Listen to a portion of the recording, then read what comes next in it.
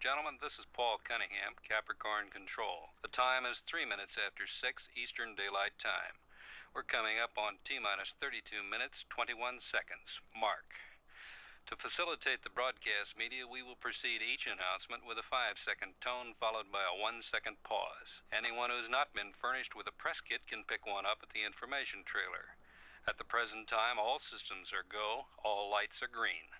To review the morning for you, at T minus 8 hours 5 minutes, Launch Complex 39 was cleared and we began to load liquid propellant into the launch vehicle. At T minus 4 hours 30 minutes, Colonel Charles Brubaker, the command pilot, Lieutenant Colonel Peter Willis, and Commander John Walker were awakened by Dr. Roger Burroughs, a flight surgeon. They were given a final physical examination and pronounced all fit. The crew then had a breakfast consisting of half a grapefruit, a 10 ounce steak, 12 ounces of orange juice, two eggs, and toast. The crew is now in the gantry access arm where they're preparing to enter the spacecraft. We're at T minus 30 minutes and counting, and this is Capricorn Control. Morning, gentlemen. Morning, Horace. Are we late? Traffic was terrible. I see you're all in good spirits. Have you done the EDS test yet? They're almost completed.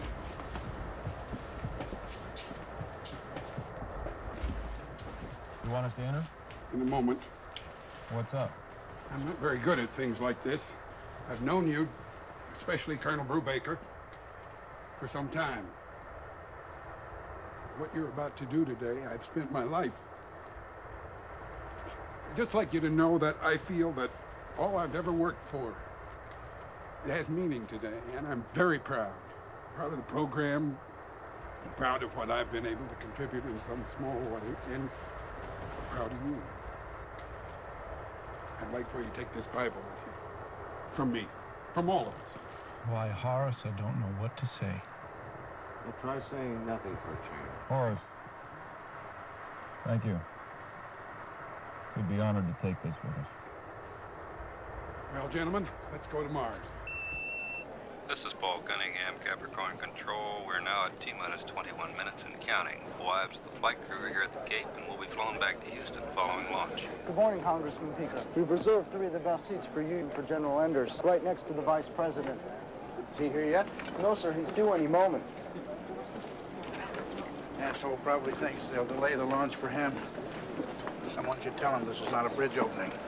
I hope you and Mrs. Peaker will be very comfortable. The agency would like you to have these commemorative binoculars to help you watch the launch and to remember this day. Ah, it's very nice. Look at it. Mm-hmm. Have a date, Capricorn 1 emblem in gold. Very nice, Horace. I'm glad you like them. We'll need another pair for my wife. I, I beg your pardon? Oh, don't make a fuss, Horace. It's all right. I said we'll need another pair for my wife. It's really not necessary. Here, Emily, take mine. I really won't need I them. really don't need it. Congressman Peaker, there's only a limited I'm, I'm amount. sorry, I didn't quite hear what you said. Would you mind repeating it, please?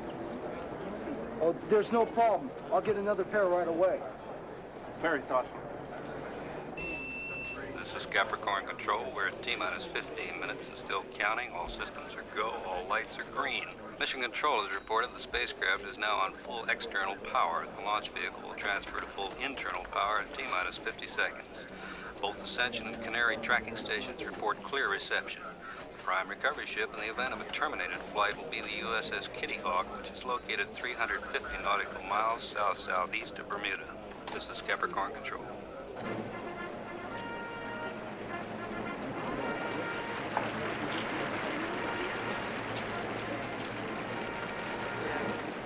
Hello, Emily. How are you?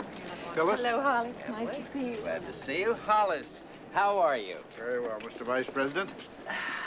How is the president today? Oh, just fine, thank you, Hollis. And he asked me to personally express his regrets at being unable to attend this launch. However, there were some very pressing matters that needed his attention in Washington. Like getting reelected. Mr. Vice President, I hope you and Mrs. Price will be very comfortable. The agency would like you to have these commemorative binoculars to help you watch the launch and to remember this day. Thank you. Thank you very much. Very nice. What is your name, son? Hughes, sir. Mark Hughes. You learn pretty quick. You'll do all right. Thank you, sir. We're at T minus 10 minutes and counting. Stage one is green. Stage two is green. Stage two is green. Malfunction detect system on second panel. Roger, MDS on second panel. Capricorn 1, we confirm TARS and MDS. You are green on both. You are go for inertial guidance and ohms checks. Roger, Houston. Gentlemen, we're ready to close the hatch. Anybody want to get out? This is your last chance. Hey, Horace, is Mars the red one or the green one? I forgot.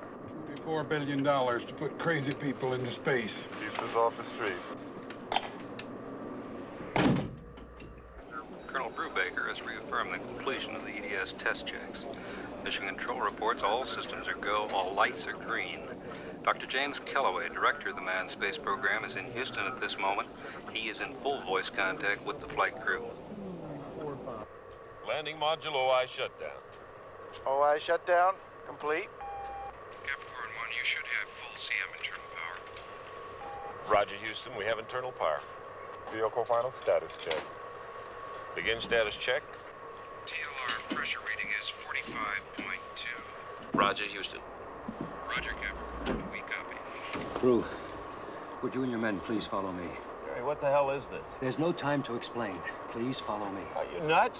I said there's no time to explain. This is an emergency. Please follow me. Now!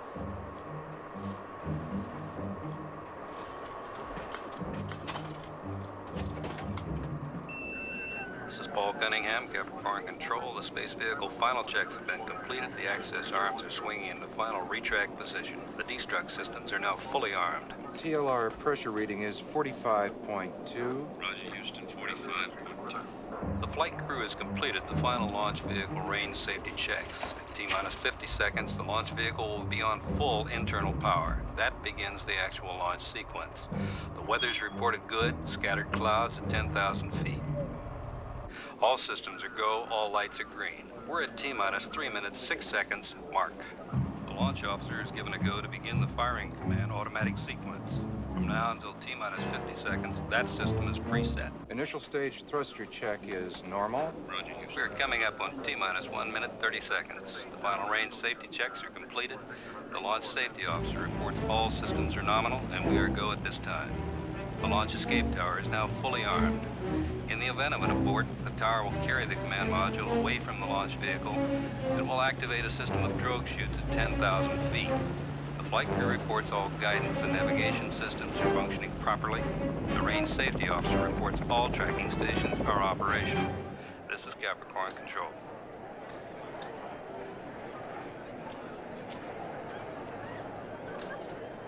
It's that big, tall, white thing over there. Can't miss it.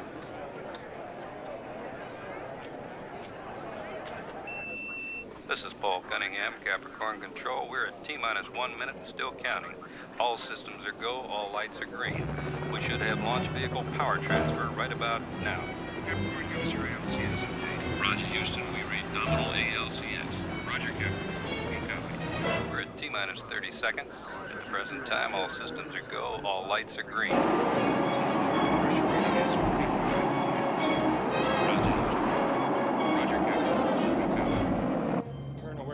A little while. You and your men might be more comfortable in these.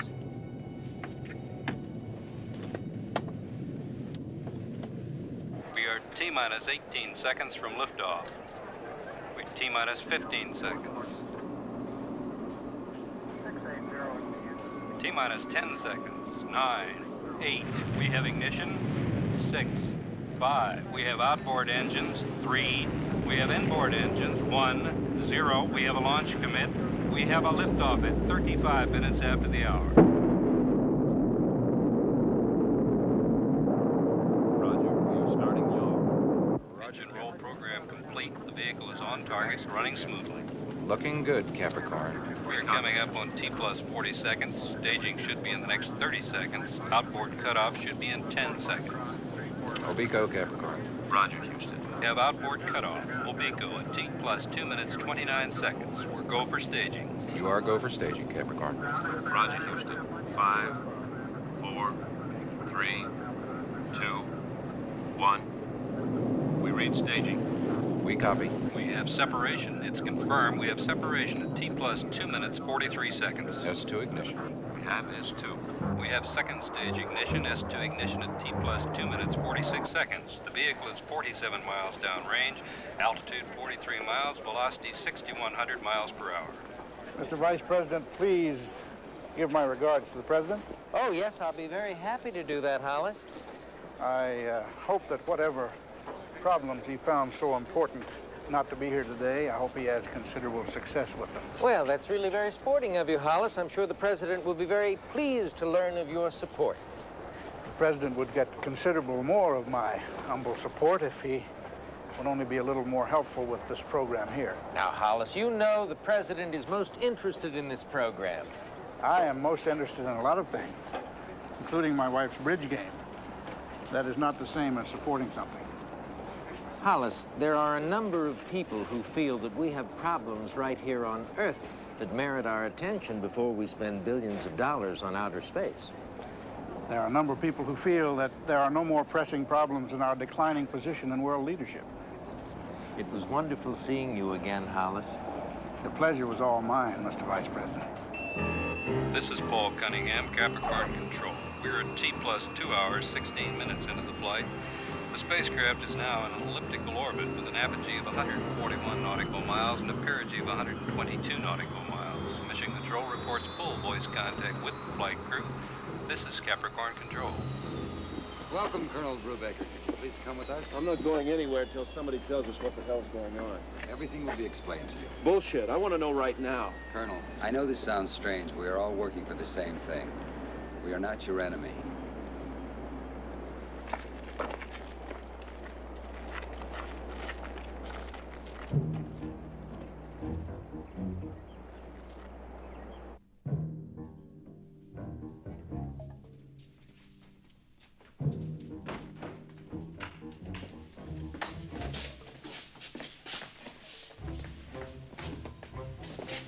Please wait here. I suppose you're wondering why I called you all here.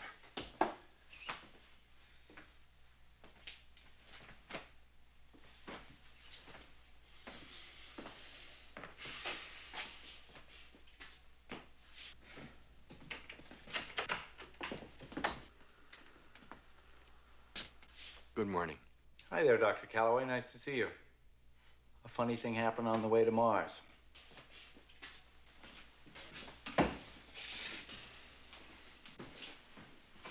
Well, why don't you all sit down?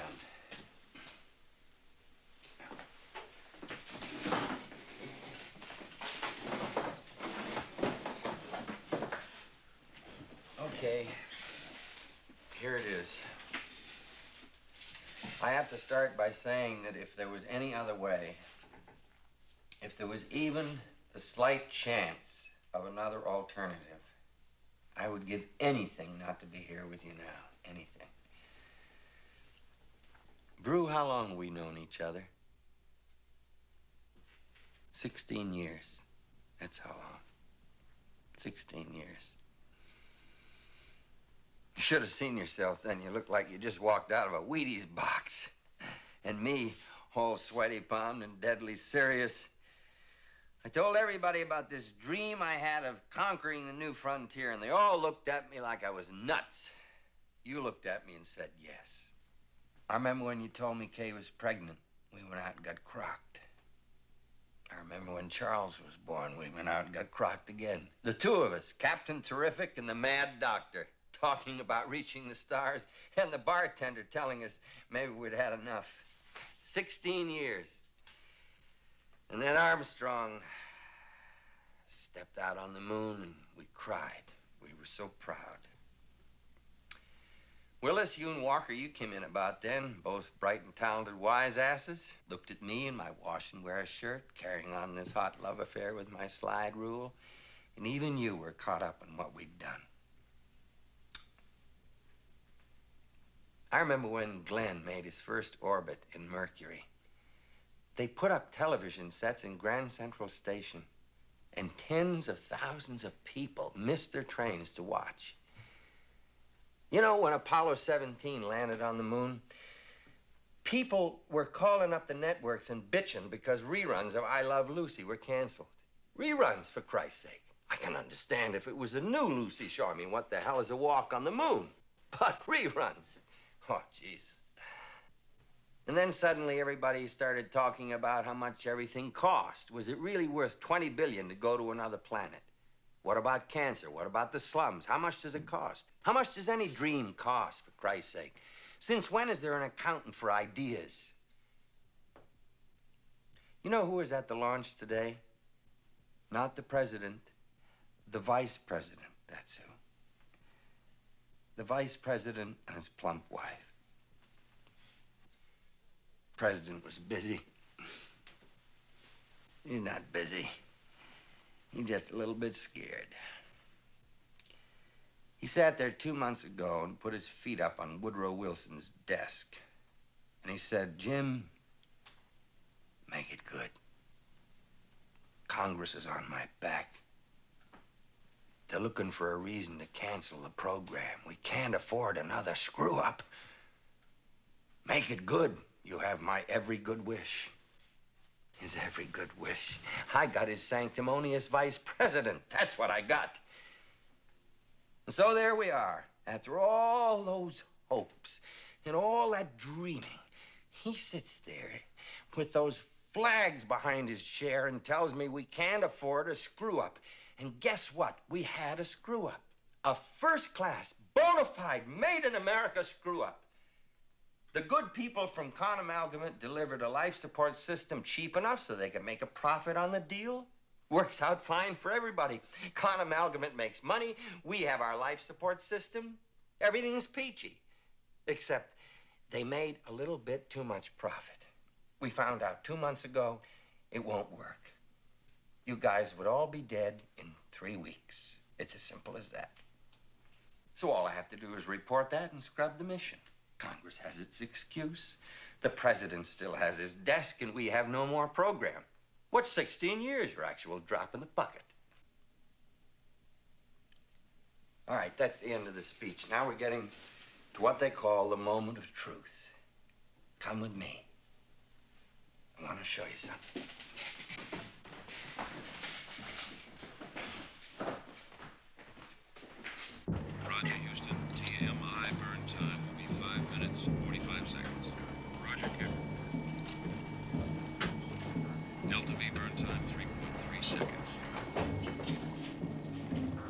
Door here. I'm going to open it and walk into another area. If you follow me, you'll see a bit more. I'll answer some questions, and you're going to. Why don't you just follow me?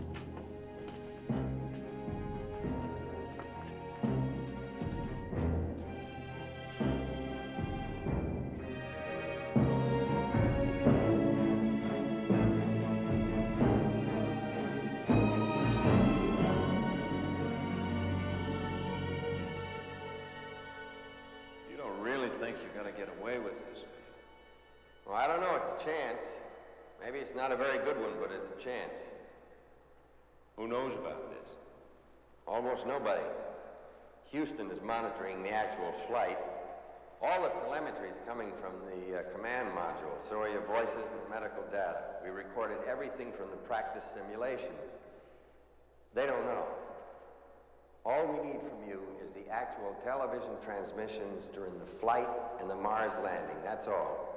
Just the television transmissions. That's all. Just the television transmissions.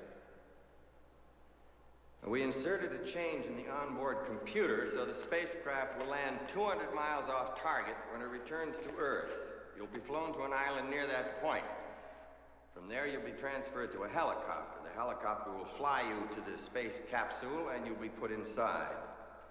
It'll take the recovery forces a minimum of an hour and a half to reach the splashdown site. By then, you will be inside the capsule. When the prime recovery carrier arrives, they'll find you inside the capsule and take you out of the spacecraft. You thought of everything. I don't know. I hope so.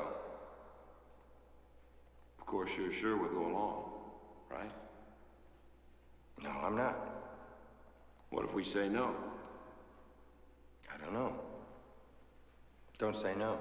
When does Allen Funt come running in and tell us we're all on candid camera? Oh, Jesus. You think I like this? You think I really believe I'm standing here in this craziness telling you about patching and tape recordings and telemetry and an island 200 miles from the target zone? I, I don't know what the hell I'm doing either. I just care so goddamn much. I think it's worth it.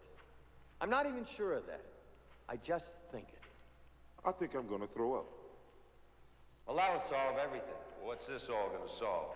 It'll keep something alive that shouldn't die. Before you all begin to moralize, you take a look around. You look at what we've done and how much more we can do. You look at what we've meant to this country.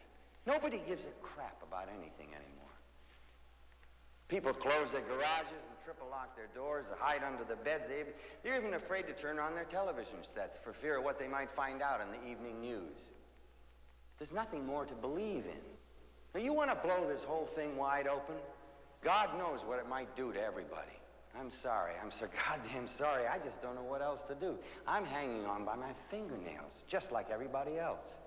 Go on. You, you want to be the ones who give everyone another reason to give up? Go on. This is really wonderful. But we go along with you and lie our asses off and the world of truth and ideals is uh, protected. But we don't want to take part in some giant ripoff of yours, and somehow or other we're managing to ruin the country. You're pretty good, Jim. I'll give you that. No, no, no. You're twisting my words. Don't sell yourself short. Don't sell the program short. Don't oversell it. I'm not so sure that canceling a flight or uh, cutting off appropriations means America folds up. It's not as simple as that, and you know it. I don't know it. If the only way to keep something alive is to become everything I hate, I don't know if it's worth keeping it alive. Please, Brew. Don't talk like that. What the hell's the matter with you? Please, Brew, don't talk like that. I don't think this is right. All the rest is bullshit. You have to help. What do you mean I have to? You have to help. Well, what if I don't? Please. Don't put me in a corner. You're crazy. You know that? You know that? You're crazy. You've got us in the middle of this nut house and you don't want to be put in a corner? Your families. What about our families? Please, you have to help. What about our families? You have to help. Shit, this thing is out of my hands. You think it's all a couple of loony scientists. It's not. It's bigger.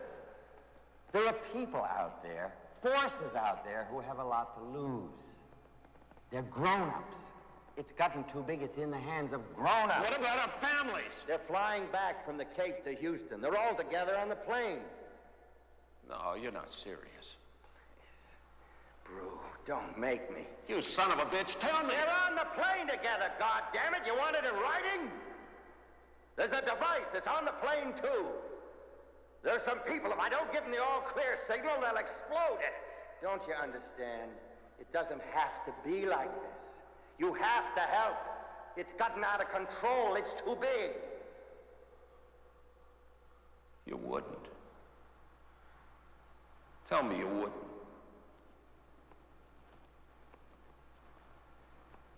I, I can't tell you that, Brew.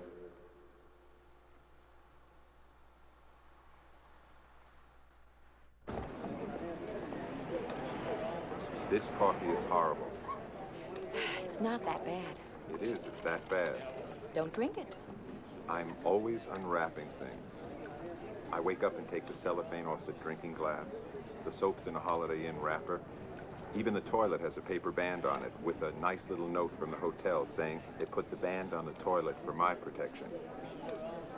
I'm always afraid that if I stay in bed too long, the maid's going to walk in the room and put a paper band around me and the bedspread. I don't mind. You wait. After a while, you won't know what city you're in. I defy anyone to tell me the difference between the Holiday Inn in Houston and the Holiday Inn in Cincinnati. The rooms are the same. The music in the elevators is the same. Even the ladies with too much makeup in the coffee shop are the same. You never know where you are until after breakfast when you read the paper. I don't mind it. Well, I don't mind it that much either. It's just that I would like it all to be with someone I care for. Someone I could share it with. Bullshit. You're so damn cynical. I'm not cynical. It's just that your act could use a little polish. What do you mean by that? Well, Liz Haller, for starters. It was the California primary. I believe you used the one about both of you being witnesses to the unfolding of history. You have to admit that's a little better than soap wrappers. You think all I want to do is jump you? Yes. You wouldn't know sincerity if it ran over you. Not if you were driving it. I'm glad I'm not like you. I have better legs. Okay, I give up. Don't give up so easily. Just change your approach. What approach would you like? How about something like, um, I would like to jump you. Think that would work? Stands a better chance than wanting to share a meaningful life together. I would like to jump you. Go jump yourself.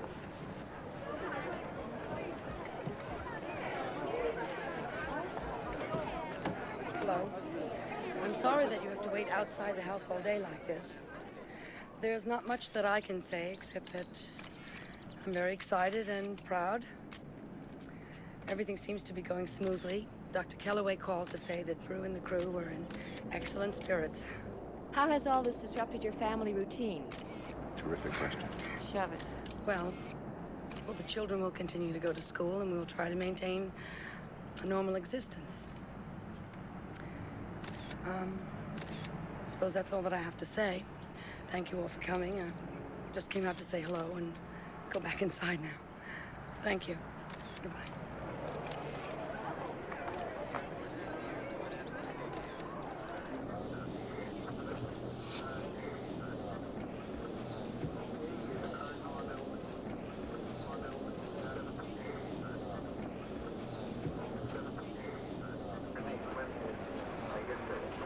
Dr. Bergen.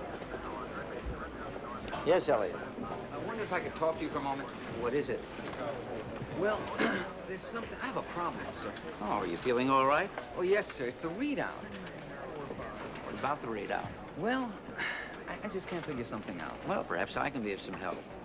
Well, I hope so. See, I, I ran a check on the transmission on my own on the signals. On your own? Yes, sir. I like your dedication. The readout. The television signals are coming in ahead of the spacecraft signals. It's like they're closer or something, much closer. No, that's not possible. There must be some malfunction in your equipment. I don't think so, Dr. Bergen. You see, I double-checked that console. Which console are you on? The 36, sir. Well, that's the answer. We've been having some problems with the circuitry on 36. We've had trouble with it before. I'll make sure it's repaired, and uh, thank you for bringing the problem to my attention. You show initiative. I like that.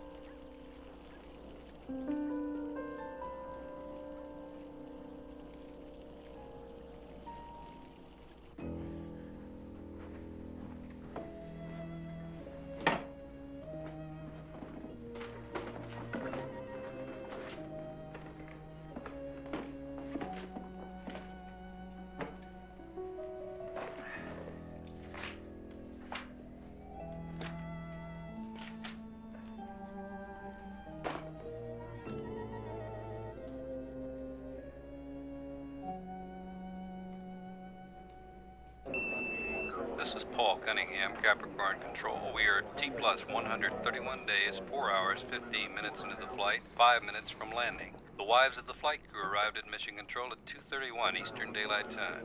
In just a few minutes, we should be receiving a signal from the spacecraft.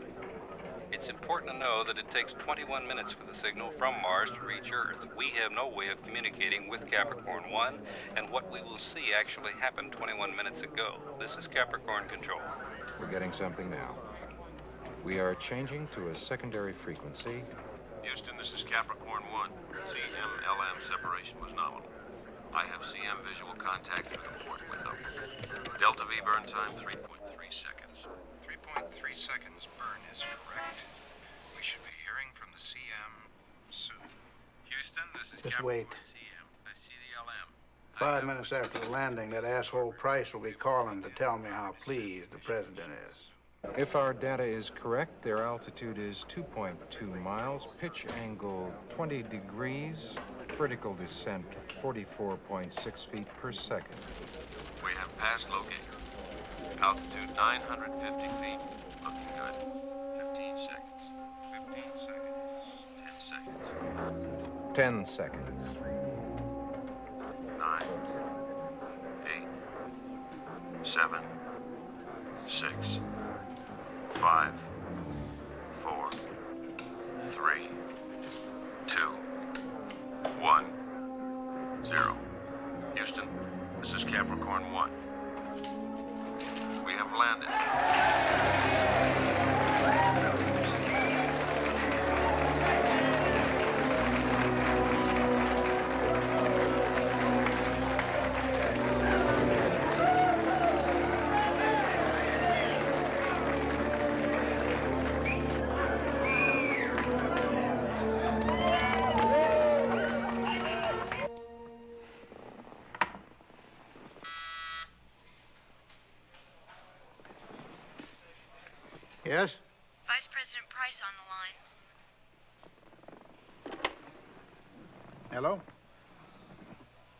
Hello, Mr. Vice President. Yes, it's wonderful, isn't it? Proud moment for all Americans. You can tell the President that's very gracious of him. I appreciate it, I really do. Thank you. And my very best to your lovely wife. Yes. Goodbye. Asshole.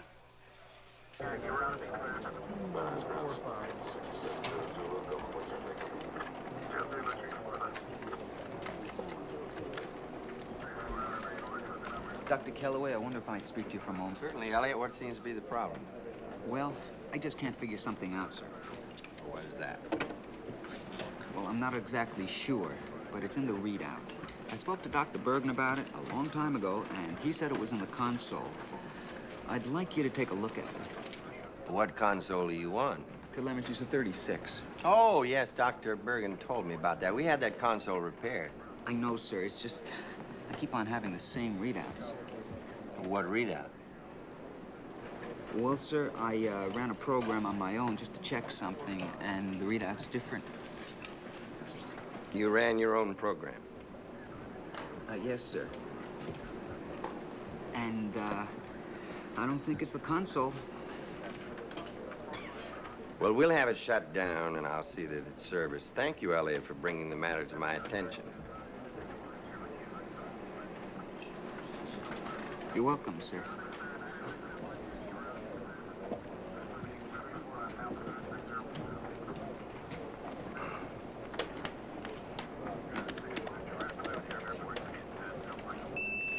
This is Paul Cunningham, Capricorn Control. Flight director advises that the LM crew has been given a go for the first EVA on the Martian surface. Because the time delay would make a conversation impossible, the crew has taken a pre-recorded message from the President of the United States along with them. This is Capricorn Control. Houston, we are activating the camera. Roger, Capricorn. Houston, you should have a picture now. We have a pretty good picture now. Houston, I am out of the hatch. I'm on the ladder. Houston, the suit is functioning. The ladder is steady. I am three steps from the bottom. I'm two steps from the bottom. Houston, I'm on the bottom step. Houston, I am going to set foot on the surface. Ready, slow-mo. I take this step in the journey of peace for all mankind. Hey! Slow-mo.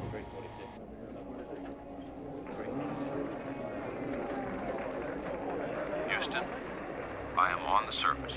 Roger, Capricorn. We copy. I'm starting to walk now. Houston, the surface is solid. Visibility is good. I'm walking toward the camera. The footing is solid. The surface seems powdery. I'm picking up the camera now. I have the camera. The picture will get shaky for a while. The footing is good. Houston, I am setting the camera down now. The rocks seem very porous. Houston, I am outside the hatch. Houston, I am on the ladder. Ready, slow-mo. Houston, I'm stepping onto the surface. Take slow-mo.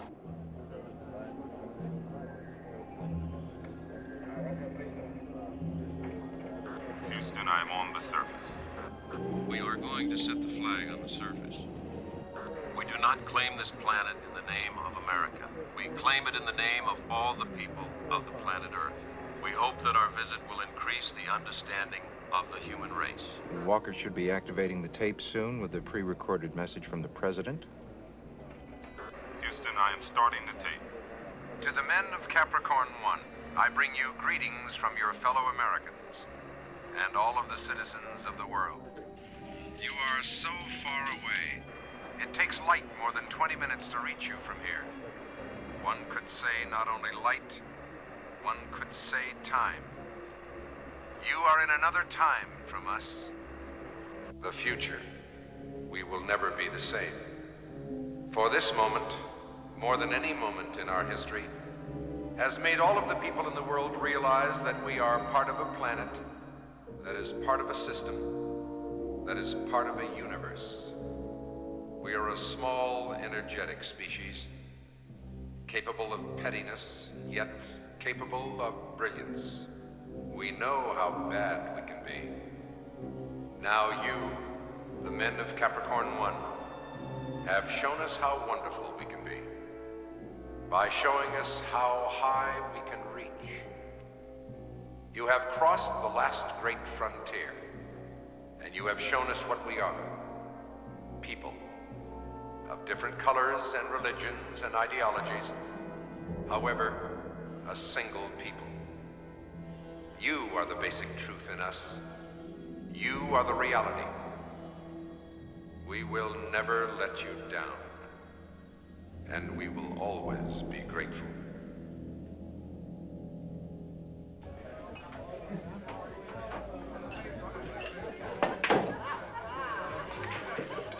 Have decided after careful deliberation and painful soul searching to give you an opportunity to win your $50 back. I don't feel like playing.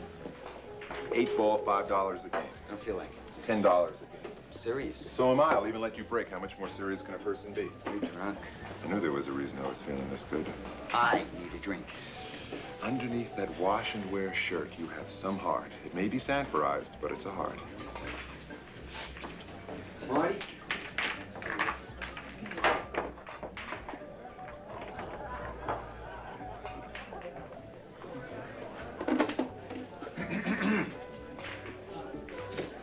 Said I break.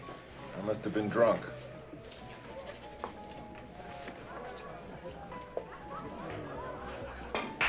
Hard day at the office, do you? Want to talk about it. Did you break your slide rule? I'm not really sure. I ran a check on my own on the transmission signals. The numbers came up screwy, so I told Dr. Bergen about it. It was like he was pissed at me for running a check. He said it must be a console malfunctioning, so I told Dr. Kelloway about it. He said the same thing. Big deal. What did you expect, a merit badge? I guess so. They must know what they're doing. Those numbers couldn't have been right anyway. No way.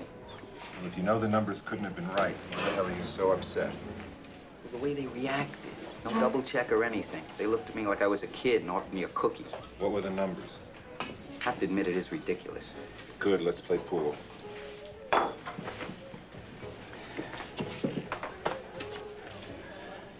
Those signals couldn't have come from 300 miles. Which signals?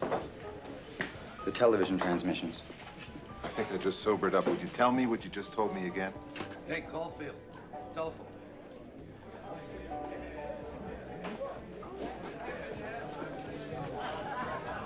Hello. Yes, this is Caulfield. What? I'm sorry, you'll have to speak more clearly. I think we have a bad connection or something. I can't hear you. Who? I don't understand what you want. Look, if you call the assignment desk, they'll be glad to send someone over to cover that for you. Yes, ask for the assignment desk. Assignment, that's right. You're welcome.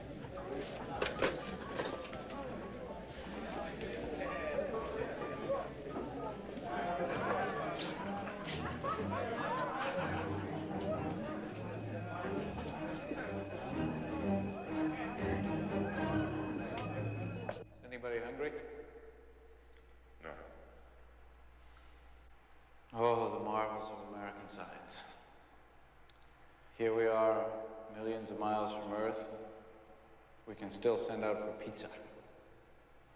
I'm not gonna do it. Not gonna do what? Tomorrow, I'm not gonna sit in this thing and talk to my wife and tell her everything's going fine. I'm not gonna do it. I tried. I got two little kids with big bright eyes. And I used to tell them their daddy was gonna make them proud of him. Like he was of them. And now I gotta go home. I gotta kiss them and I gotta look in their eyes and tell them I really did this. I don't know. Maybe that's better than going home and telling them I really didn't do it. I wish I knew what was right. I really don't. We've been sitting around here for months, telling their lies to them. And I don't want to do it anymore. So we're going to blow the whole thing tomorrow on national TV. Then what have we done? We'd screw up a lot of people's dinner. We've already screwed ourselves. Okay, so what do we accomplish by screwing everybody else? He's got a point there, you know. We went along with this because of you. You and our families. Now you want to go out in some terrific blaze of glory, and we get pulverized in the process. And our families.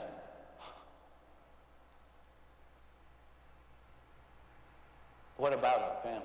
I know. I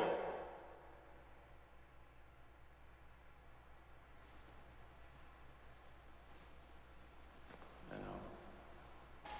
Shit. That's the best thing I've heard anybody say in three weeks. What's the best thing? Shit. I just don't think I can do it. Get me Dr. Kelloway. Why all of a sudden are we standing up for the bad guys and you're on the side of truth and justice? We may have a problem with Brubaker tomorrow. I wish I had the words. Damn, the words. These people, they're capable of anything. And we got our families out there. Now we're in this thing, and I think we're in too deep to stop now. No one of us is going to decide. It's got to be all of us. Operator, I'm trying a number now for over an hour and it's busy. Would you kindly check to see if it's out of order? I know you don't do that. Yes, it's an emergency. Thank you. 873-3657. No, 3657, Mr. Elliot Witter.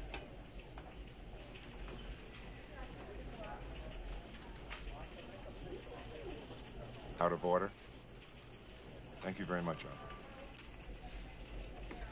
Officer. This is Paul Cunningham, Capricorn Control. We're at T plus 223 days, 6 hours, 32 minutes. All systems are go, all lights are green. We're awaiting the start of the final television transmissions from the command module on its return to Earth.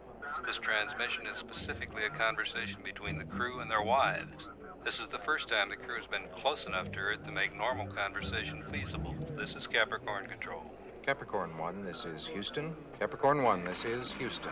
Roger, Houston. This is Capricorn 1. Houston, do you have a picture?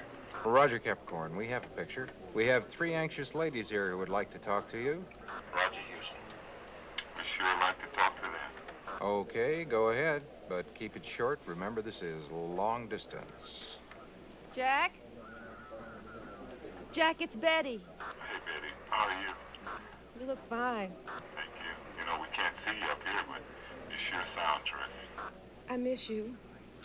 So do the kids. You. I miss them too more than you all know. Peter? It's Sharon. I Told you never to call me here. Are you feeling well? I'm feeling very well. How's Sandy? She's got the part of Wendy in her school play. They're doing Peter Pan. That's terrific. You sound so close. It's hard to believe you really are that far away in space. It's hard for me to believe it, too. Brew, Hello, King. we're all so proud of you. Can you hear me, Brew? Yes? I'm not sure of Brubaker. Keep watching. Brew, I have a surprise for you. What? I said I have a surprise for you. What is it? Charles wrote a composition in school, and he won an award. May I read it to you? Brew, can you hear me? Yes, um... Please read it to me. It doesn't look good. Do you want me to cut the transmission? Not until I tell you. My Father by Charles Brubaker Jr. My father is far away from me now. He is flying to Mars.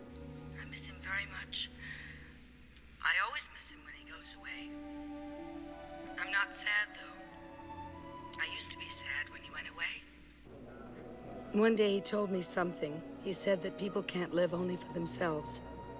He said that he was trying to do something that would be good for everybody. I know that is what he is doing now. He is doing something for everybody to give them a better life. That means he is doing something for me, too. So even though he is far away, he is thinking about me and I am with him. That is why I'm not sad. That is why I'm so proud of my dad. And I love him so much. Kate, What is it? there's something I, I want to say.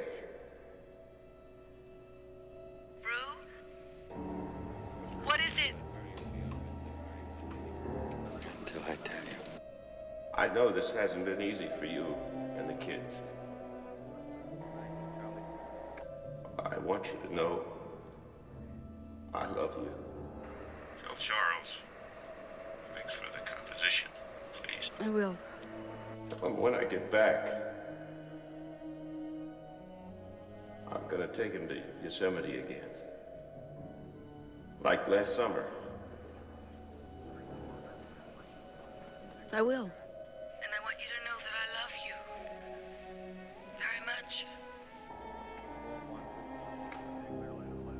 Time's up, gentlemen. Roger. The next time we see you, you'll be on the way home. Roger. Well done, Capricorn.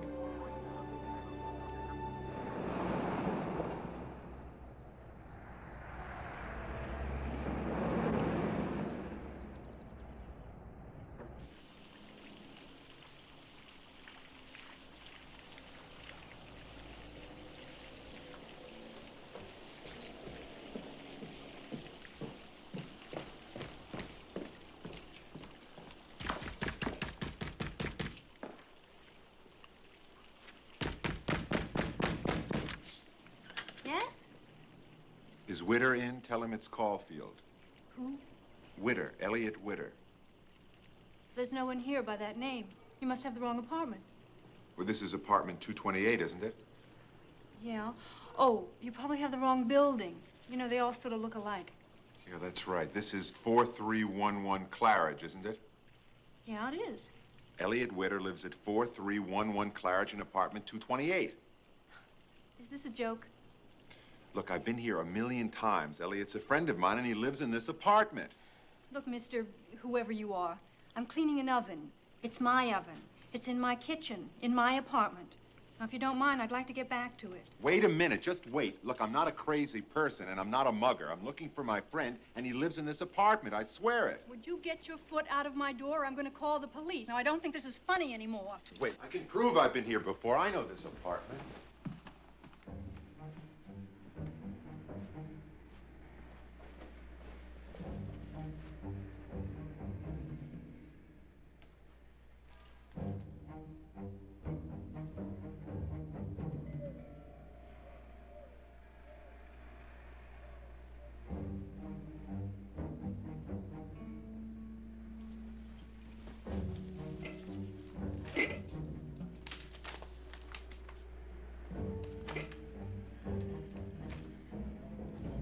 Get out of here, or do I have to call the police?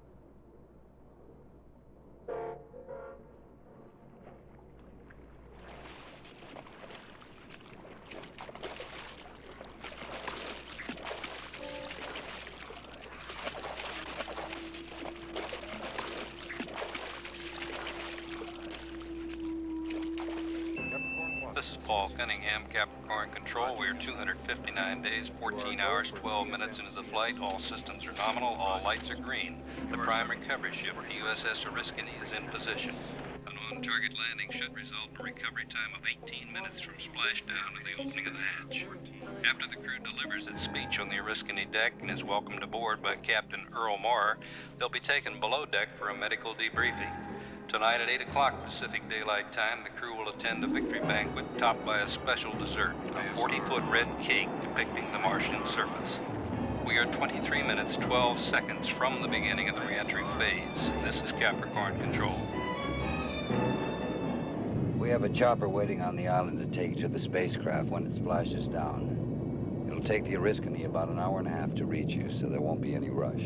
All lights are green. Roger. All green. Separation thruster checklist. Separation thruster checklist. Outboard thrusters. Outboard thrusters armed. Inboard thrusters.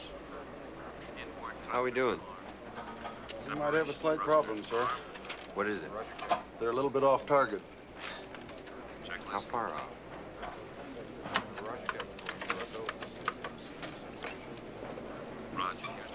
As much as 200 miles.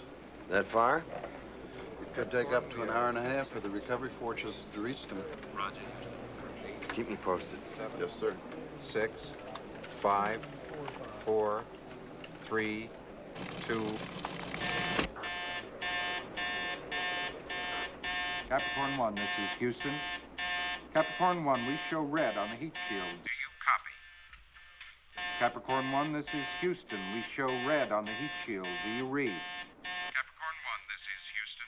Capricorn 1, this is Houston. Capricorn 1, this is Houston. We show red on the heat shield. Do you copy?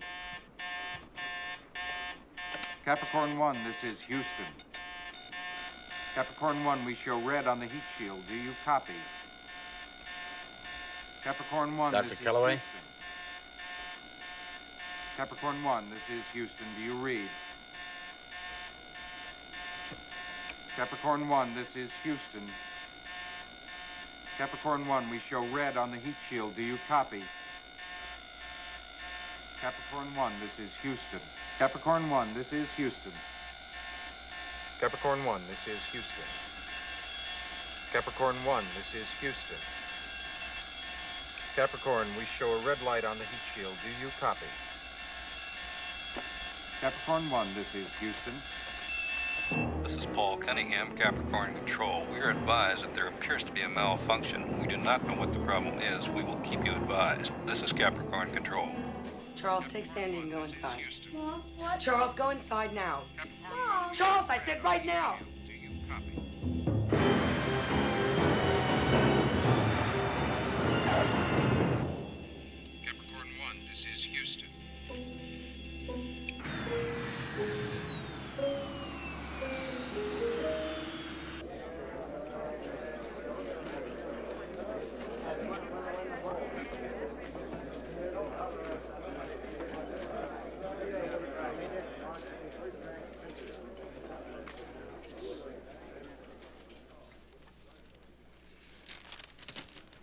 Ladies and gentlemen, I have a brief statement, and then I will answer your questions.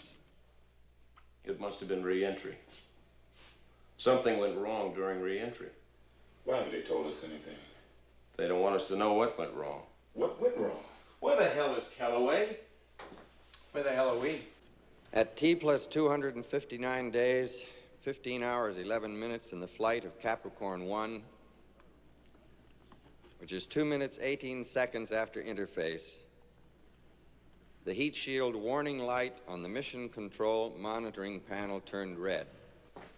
We are dead. What? We're dead. Shit, I was such a terrific guy. We tried to establish radio contract, contact with the spacecraft, and we were unsuccessful. It landed off course. Why haven't they said anything to us? And if it never landed, either the heat shield separated or the chutes never opened. Either way, we are dead. The heat shield evidently separated from the command module, and as you know, the heat shield is the only protection the module has against the heat buildup on re-entering the Earth's atmosphere. The spacecraft disintegrated within 12 seconds after the loss of the heat shield.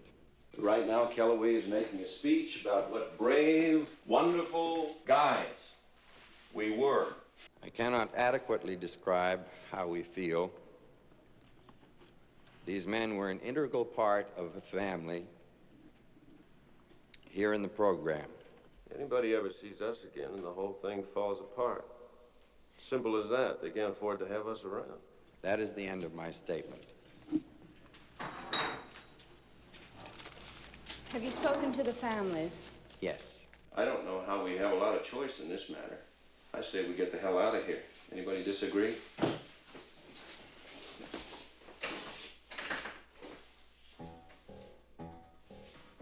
When was the last time the heat shield was checked? All during the re-entry phase, there were a series of status checks. All of them gave us every indication the shield was in place.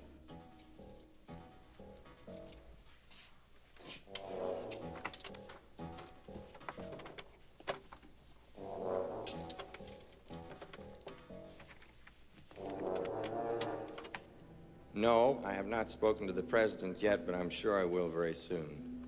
I'd like to say that the president has been a constant source of encouragement to all of us in the program. This mission meant as much to him as it did to us.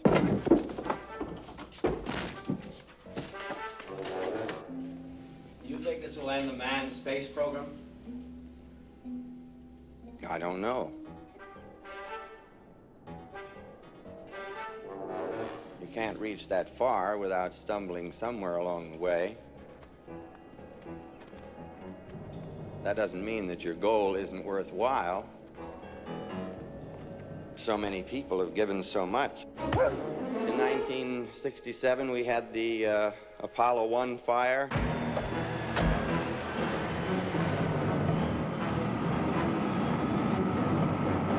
But we didn't just give up, even though we were crushed.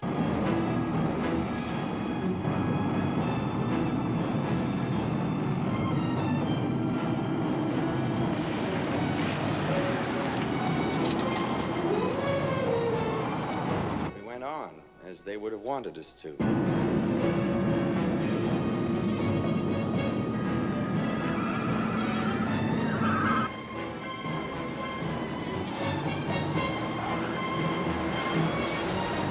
Now, these three remarkable men have given their lives in an effort to widen the horizons of their species.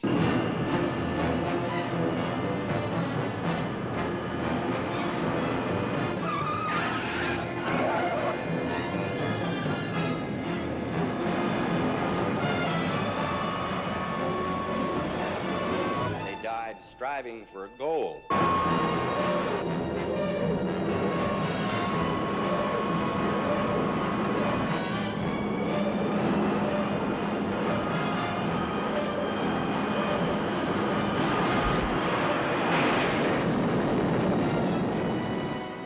You tell me. I ask you, I ask all of you here, you be the ones to tell me. How could we best serve these men? By giving up on their dream? By saying that it was all for nothing?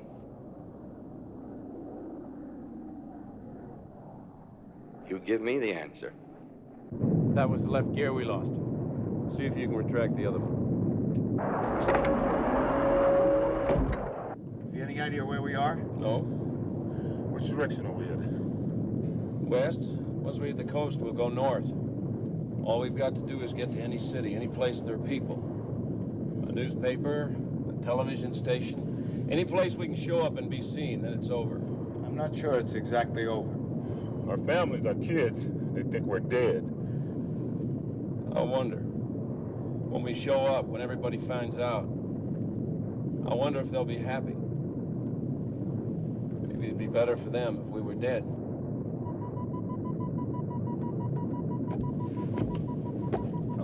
Christ. Fuel, there's no goddamn fuel. I told you never to take a trip without checking the tank. What about reserve? We're on reserve. That's straight. I'll start to circle, see if you can find a level area. There. Over there, beyond those cliffs. Are you sure you know how to land this thing? Full flaps.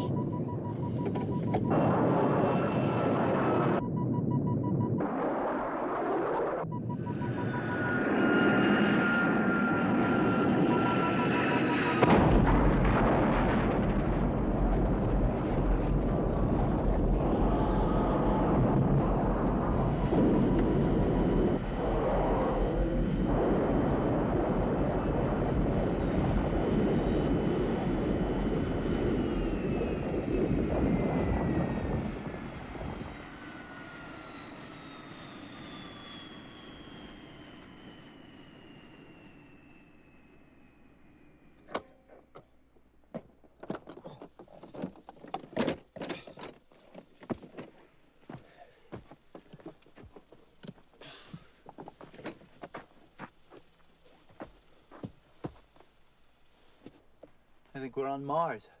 We got about 20 minutes head start on him. It's not gonna be hard to spot this plane from the air. We got two choices. Either we stick together or we split up and go in different directions. Hey, I just found a survival kit in here. A can of water each. Flare each.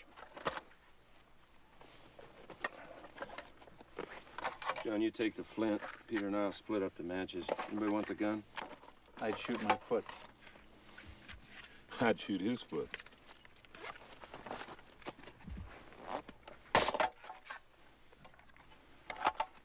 You take the knife. Remember, if any of us gets caught, or he can't make it, shoot off a flare, so the others will know. I'll continue west. John, you go north. Peter, you go south. We came from the east, so we know that's the wrong way. There's not a lot of time. There's too much to say, so let's go. If any of us makes it. Well, I ever tell you the one about the guy who had a job giving enemas to elephants and thanks.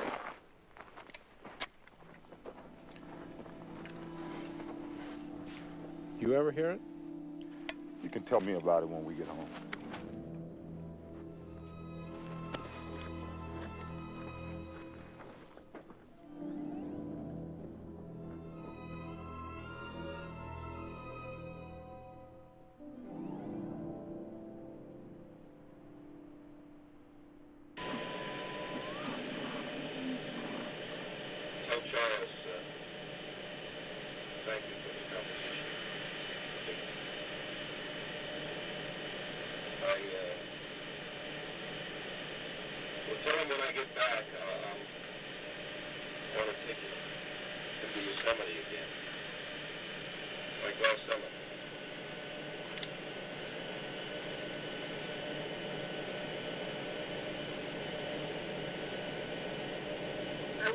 Right there.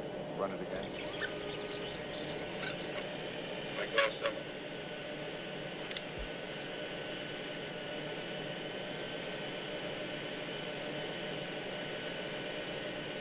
I will. Look, sir. Look, sir. Mr. Knox, sir. Let's do tricks with bricks and blocks, sir. Let's do tricks with chicks and clocks, sir. Blocks. Look, blocks. Right. There are the blocks, and those are the. Clocks. Right. First, I'll make a quick trick brick stack. Then I'll make a quick trick block stack. You can make a quick trick chick stack. You can make a quick trick clock stack. Chicks. And Clocks. And here's a new trick, Mr. Knox. Socks on chicks and chicks on fox. Fox on clocks, on bricks and blocks. bricks and blocks on Fox and Box.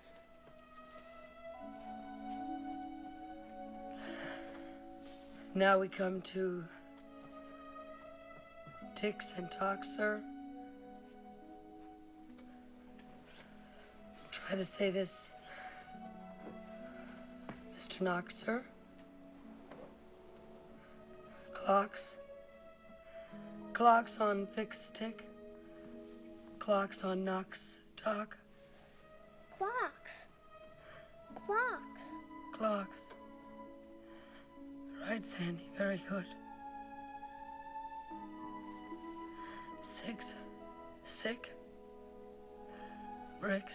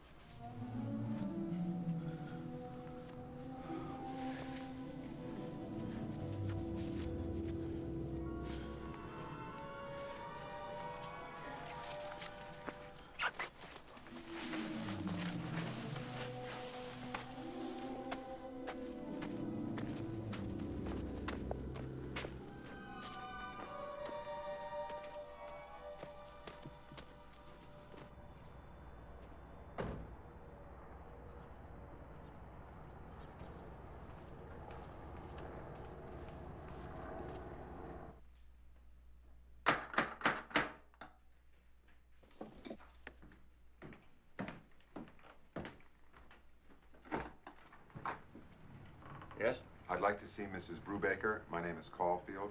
Miss Brubaker isn't seeing anyone at the moment. I telephoned this morning. I believe I'm expected. What was that name again? Caulfield, Robert Caulfield. Oh, yes. Miss Brubaker is expecting you. She's out on the patio. It's right through there. Thank you.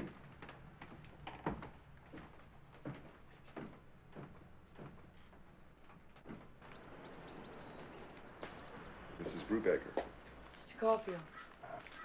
Sit down, please.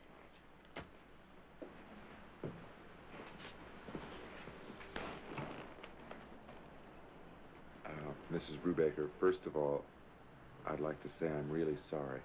Everyone I know, so... and I appreciate it. Please don't be too uncomfortable with me. I don't know that I could put up with that right now.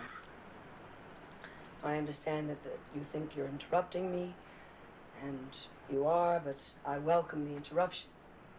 You called and said it was something important. What is it? Mrs. Brubaker, it may not be important to you. I'm looking for something that may be important to me. It's personal. You're a reporter, aren't you? Yes, as I told you, I'm not looking for an interview. I would like to ask you a few questions about the last time you spoke with your husband after the landing. What about it? Well, this may sound strange, Mrs. Brubaker. Please don't be upset with me. Just before the conversation ended, Colonel Brubaker said to you something about going on a vacation, and your reaction was, it was like you didn't understand what he was saying. Why would you want to know about that? As I told you, it's something personal. It's personal to me, too. Please, I'm not trying to embarrass you or anyone else. Why would any of this be your business? Please trust me. Why? You ask really good questions.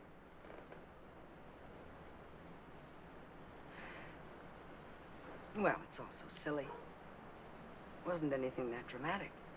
Brew just forgot something, that's all. I don't see the purpose in broadcasting that my husband made a mistake about a vacation when he had so many other things to think about. No, no, no, I'm not looking for anything to broadcast. What are you looking for? It has to do with a friend of mine. Is there something I should know? If there was anything, I would tell you. It's nothing. Brew said that he wanted to go back to Yosemite like last year. Last year we went to Flat Rock, not Yosemite. I don't think there's any cosmic significance in that. Mrs. Brubaker, I truly thank you. I'm sure you had better things to do than put up with a bunch of stupid questions. No, I didn't. Have I been any help to you at all? Well, I don't know. May I call you again sometime? Yes.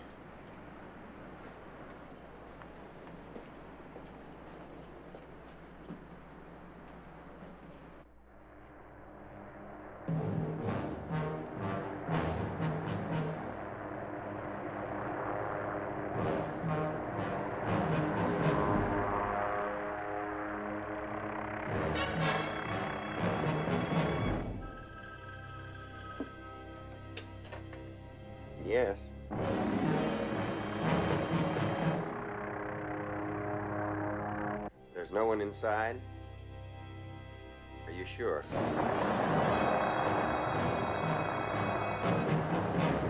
Get more personnel. They can't go too far on foot.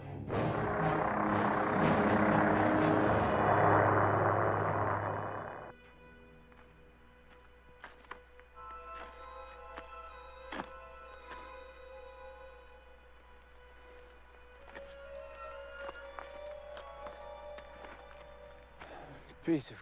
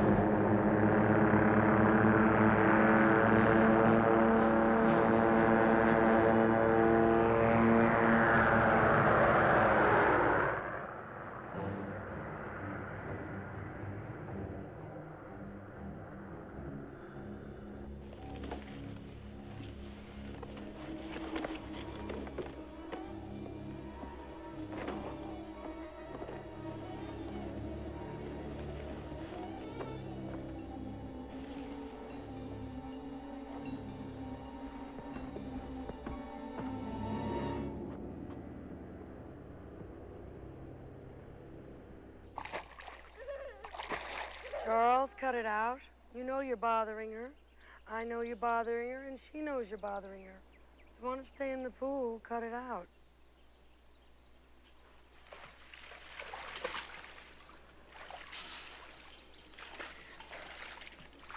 Hi, Uncle Jim.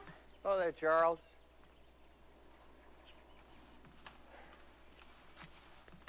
Hello, Frank. Jim? You look just fine. Thank you. Can I offer you something to drink? No, thank you. How are the children? Fine.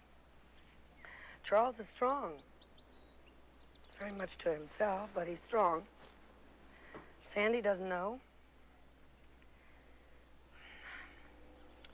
Uh, there's going to be a memorial service on Tuesday, Mhm. right here in Houston. The president, the president will be here. He's going to speak. It's nice. Will I get a folded flag? I would like you to be there. Please. I, I know how difficult everything is for you just now. I feel like Jack the Ripper even asking you. It's just that it would be good for everyone if you could go with me to the service. It's a horrible way to die. No, absolutely not. When the heat shield separated, it was over in less than five seconds.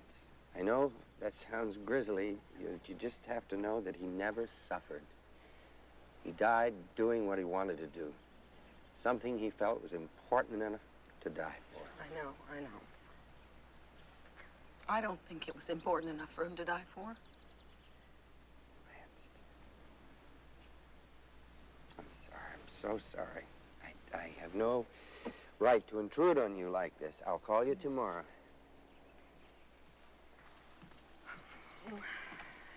Jim, I'll go. You're a very special woman. He was a very special man. Thank you. Hey, Uncle Jim? Yeah. My dad went to Mars. Yes. Yes, you did.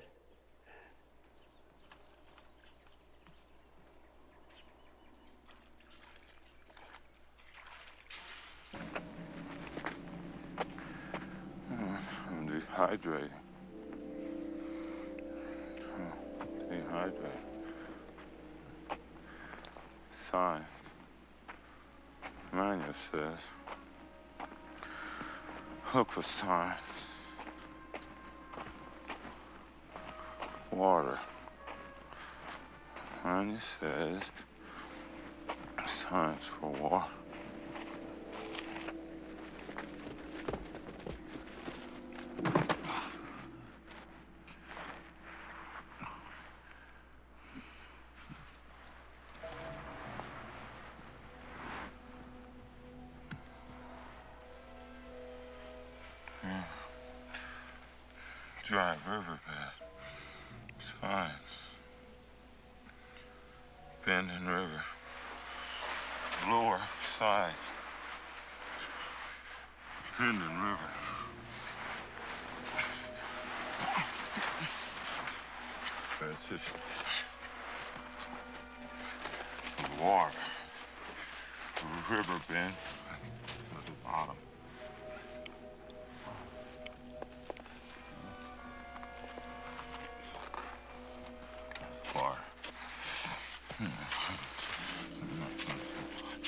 Hydrate.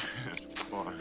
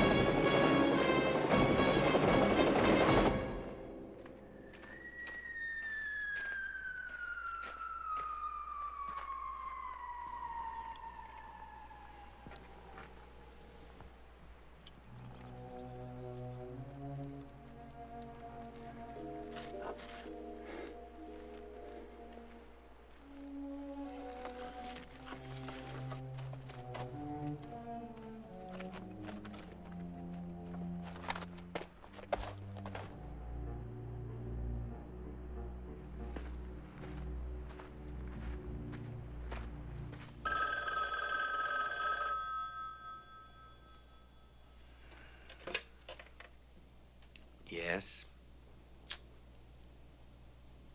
He was alone? Which direction was he heading from the airplane?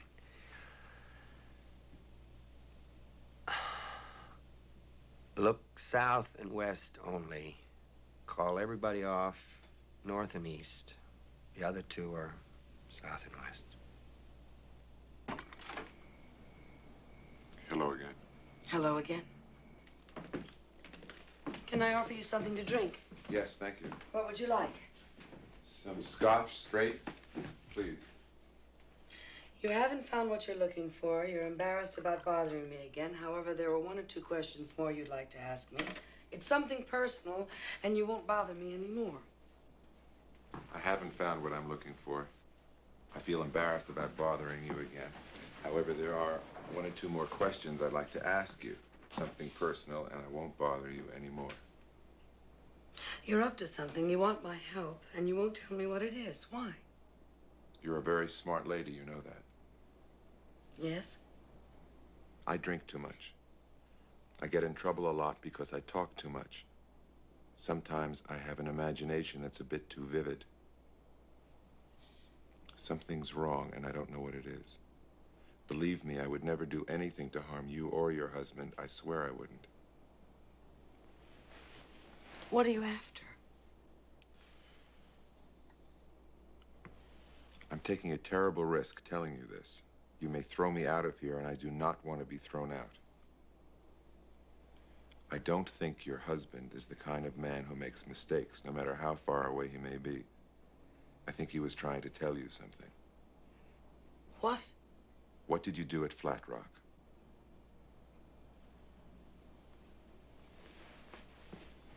Nothing much. We came home after one day because Charles got sick. What did you do that one day? I don't remember. We took a tour of the town. They have those tours. And I. I don't remember. We, we took some home movies. Do you have them? Yes?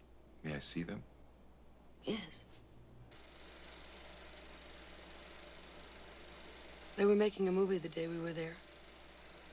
Brew got a big kick out of it. He never knew it took so much time to just do one simple scene. Charles loved that one. He wasn't in the greatest mood, though. He didn't know it, but he was sick. Brew was fascinated with the detail. He couldn't get over how something so fake could look so real. He kept on saying that with that kind of technology, you could convince people of almost anything. There's this guy, see? He takes a trip to Europe. It's his first vacation in a long time. He sees the sights, you know.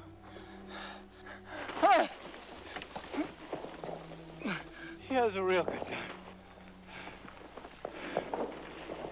Anyway, after a while, he decides to call home. He gets his brother on the phone, and the guy says to his brother, How's everything at home? And his brother says,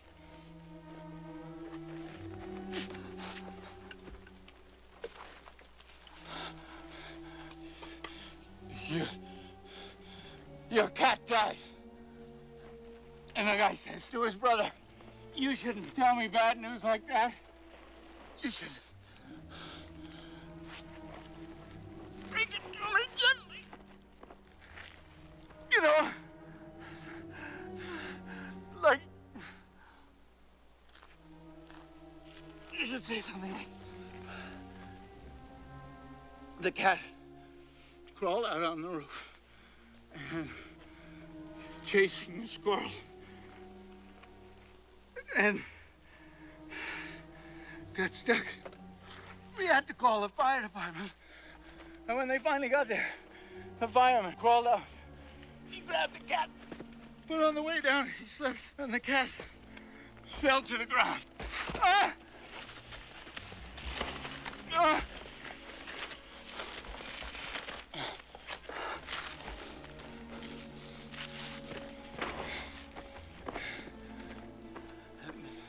They had to take the cat to the vet.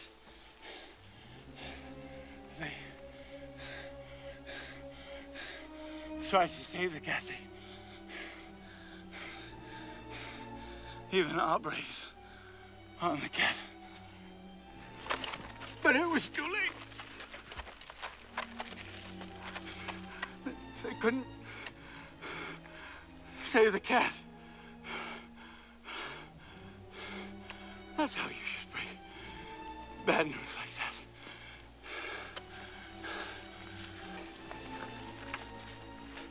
so the guy says to his brother.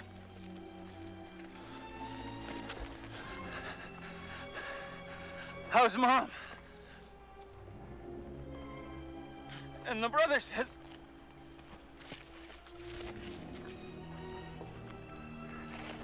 She's on the roof!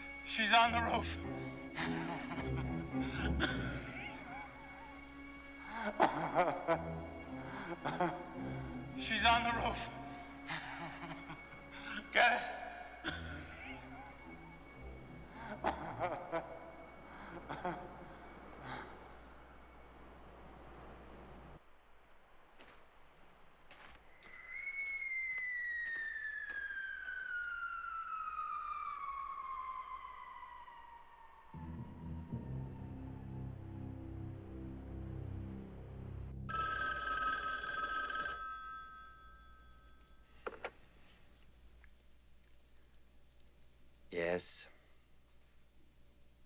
Which one? What direction was he going?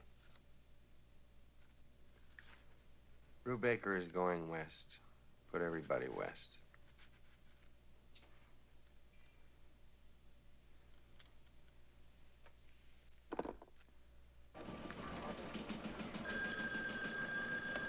Caulfield. Right now? Okay.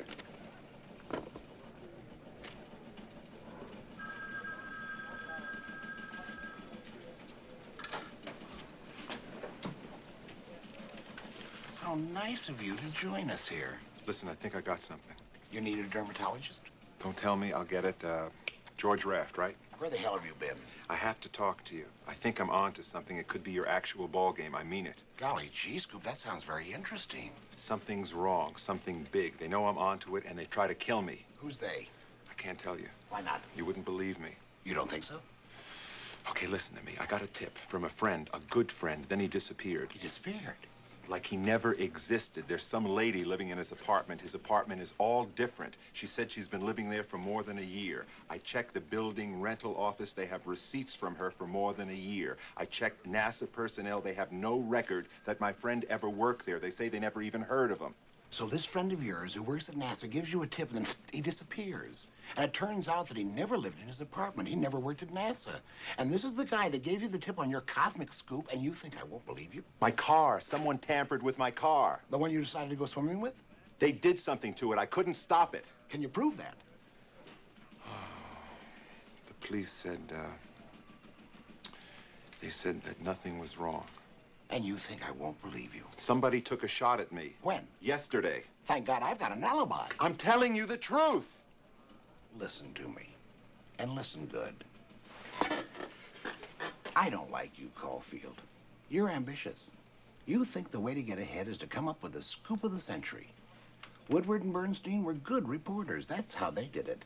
Not by telling me they've located Patty Hearst three times like you did, or that brilliant piece of investigative journalism you pulled off by finding an eyewitness to the second gunman in the Kennedy assassination. The small fact that the man had been in a mental institution at the time never deterred you, not Scoop Caulfield. Well, most reporters are like me. They are plotters. They spend a lot of their time checking little things, like facts. They cover mundane stories like wars and trials and hearings. You never seem to have enough time in your busy schedule to stoop so low as to cover a story. You occupy your time with tips from people who never existed, driving your car into water and then claiming it wasn't your fault, getting shot at by unseen gunmen. Now, I really hate to interrupt your meteoric career with something so plebeian as a legitimate story. However, a trainload of propane gas had the bad taste to derail near Galveston, and there's a whole town that just might blow up. So it would be just really peachy of you if you would join your film crew that's waiting for you on the plane at this very moment while we speak. That was some speech. I thought so. I cannot go to Galveston right now. I don't think I heard you. Look, When a reporter tells his assignment editor that he thinks he may be onto something that could be really big, the assignment editor's supposed to say, you got 48 hours, kids, and you better come up with something good, or it's gonna be your neck. That's what he's supposed to say. I saw it in a movie. Get your ass on that plane. I can't. I have to follow this. And you can't tell me what this earth-shattering story is? It sounds too crazy. If I told you, I'd be in more trouble. You're not crazy. I'm crazy. I'm crazy for listening, and I'm crazy for saying what I'm about to say. I'll give you 24 hours to come up with something, not 48. I saw the movie too. It was 24.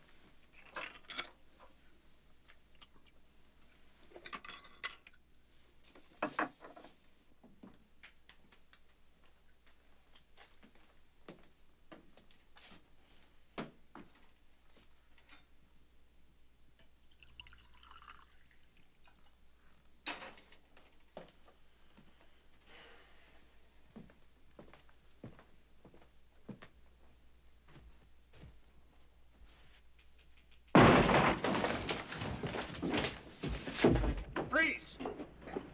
I'm not moving an inch. Robert Caulfield, Yeah, who the hell are you? federal agents. We have a warrant to search your apartment. You have a warrant? What for? Just don't move. I promise. Just tell me what this is all about. Hey, come here. Look at this.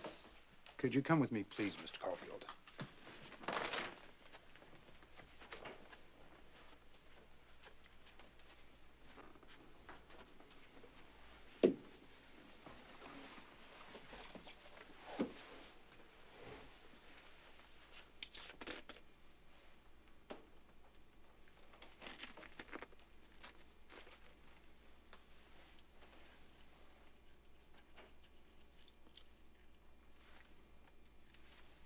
Mr.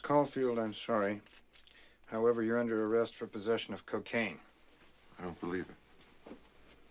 I don't believe it. You guys put it there. You know you did. You have the right to remain silent. You have the right to an attorney. I don't believe it. You put it there. Anything you say may be held against you in a court of law. You're part of all this. You mothers. How that hurts. You don't have to put handcuffs on me. Please, Mr. Caulfield, these are serious charges against you. Don't add to them by resisting arrest. I don't believe. That hurts. I don't believe this.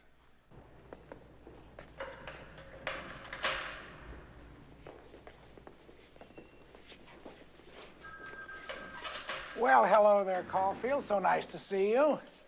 It's at this point that Alan Hill says to Richard Conte, Jimmy Stewart. Oh, yeah, Jimmy Stewart, thank you. Look, Scoop, I can't keep bailing you out of trouble. The front office is on my neck. I don't know how much longer I can keep them off, right? Right. Wrong. I got you out of there so as not to embarrass the network. I mean, you are a schmuck. I can't trust you to cover a fire. You'd probably fall down and get burned. You probably would be the cause of it. A company car. You're fired. Oh, I love how that sounds. I love that so much, I'm going to say it again. You're fired. You're through. Oh, I love it. It's not what it looks like, really. Frankly, Scarlett, I don't give a damn. You see, I told you. You tell me about the lonely plight of a dedicated journalist, I tell you to stuff it. You tell me about a meaningful relationship, I tell you to stuff it. You tell me you're in trouble, you're out on bail, you just got fired, I tell you I'll be right over. My head hurts. You look awful. Thank you very much. You're quite welcome. Did you find out what I asked? One o'clock in the morning, I get a call from an unemployed junkie to find out all of the military installations in a 300 mile radius around Houston, Texas. You certainly have a way with words. Did you find out? Yes, and it wasn't easy. It took exhaustive research. Well, I'm proud of you. How many? One, White Bluff. It's a SAC base. My father used to be stationed there. That's exhaustive research. At one o'clock in the morning, you call your father. That's exhaustive. White Bluff, that's too big. Too big for what? Too big for what I want. What do you want? I'm thinking of enlisting. They'll never take you. That's why I'm thinking of enlisting. You're on a story, aren't you? I was fired. You're on a story, and I'm helping you. This can't be happening. I really appreciate that. The only reason I'm doing it, considering your track record, whatever story you're on, will turn out to be garbage. You shouldn't mince words.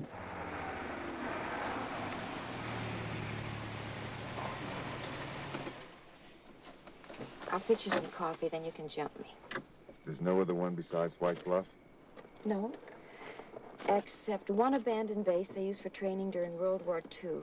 Jackson. There's nothing there now. Don't you want to jump me? Of course I do. Where's Jackson? About 300 miles directly west. I think I'm going to get angry with you. You have any money on you? You want me to pay you? How much? About a hundred. Why don't I just leave it on the dresser in the morning? Give it to me now. in advance? That's the height of conceit. Please, and your car keys. You're really being terrific. Why? You're not obnoxious when you're helpless. Thank you very much. You're quite welcome. Also, Liz Haller said you were super. Well, when I get back, we'll jump each other. Maybe. I'll get arrested again. It's a deal.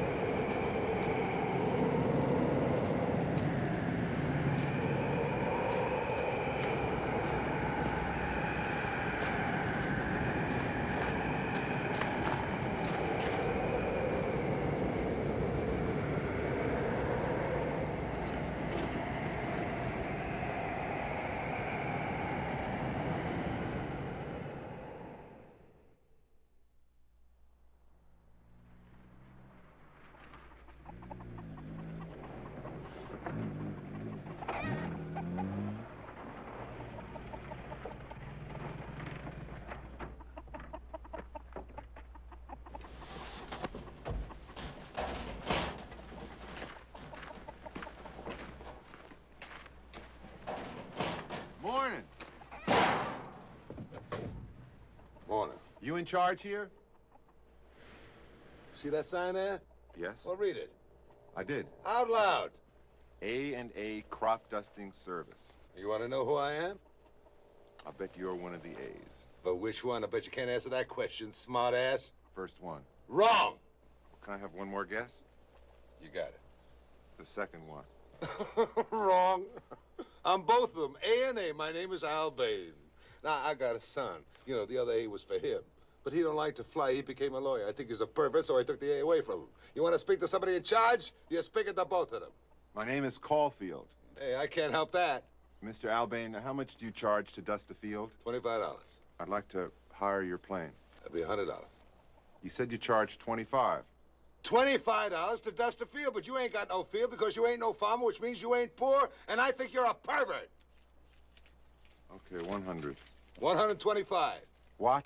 Because you said yes to a hundred too quick, which means you can afford a hundred twenty-five.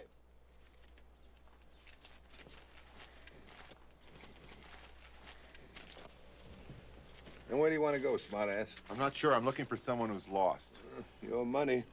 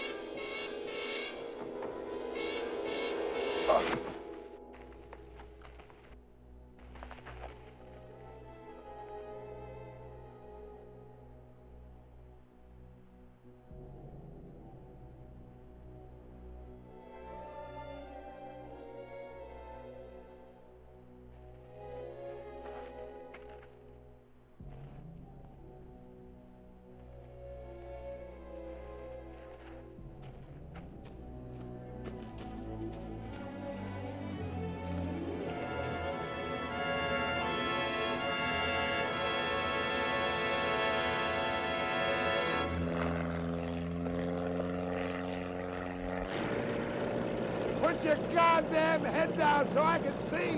Why didn't you sit in front? You know how to fly? No. Then I gotta sit back, and you gotta put your goddamn head down, smart ass.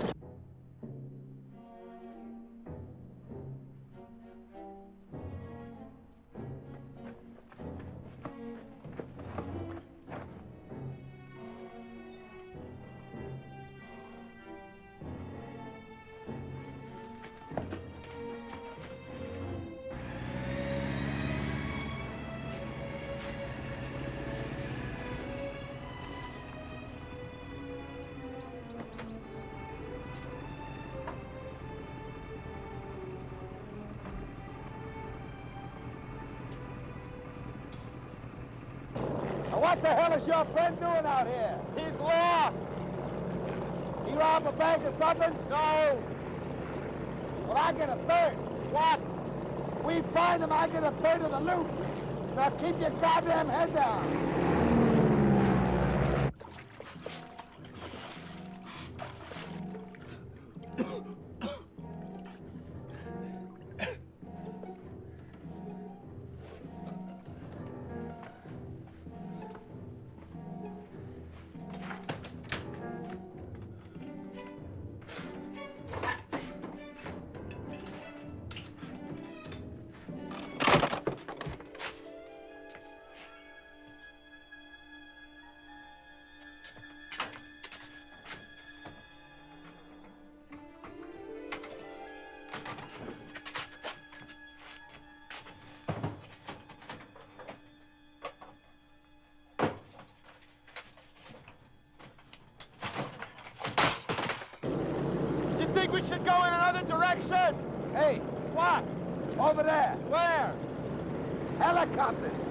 I seen them fly around here last couple of days. Let's follow them. I would if I could see him.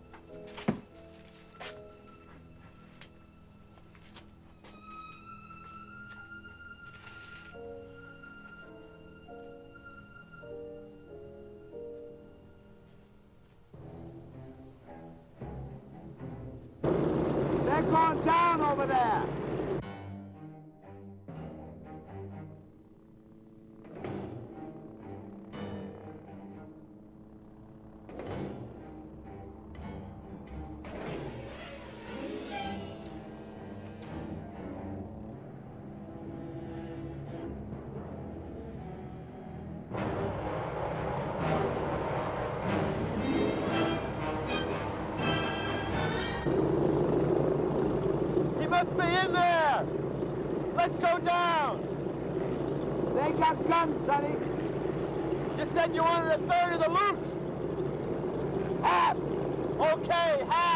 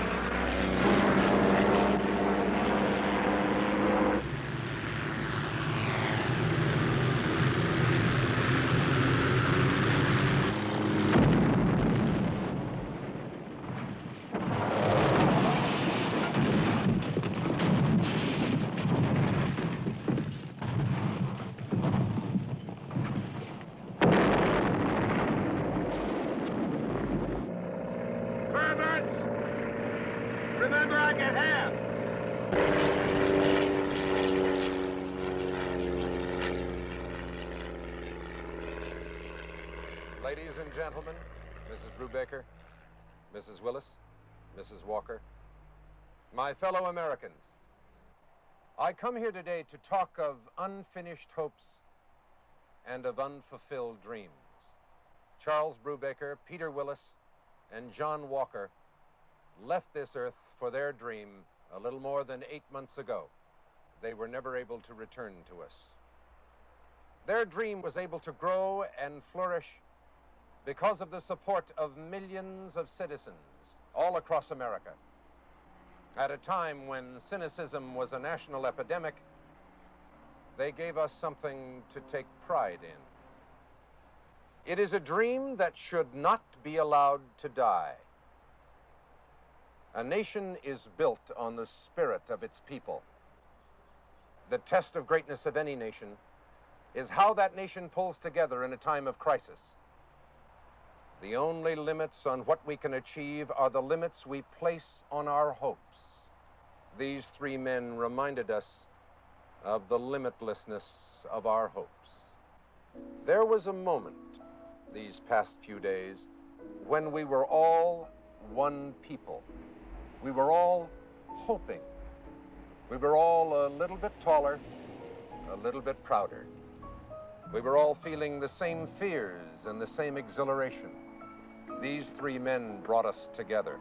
We knew together that there are no goals we cannot reach if we just reach for them together.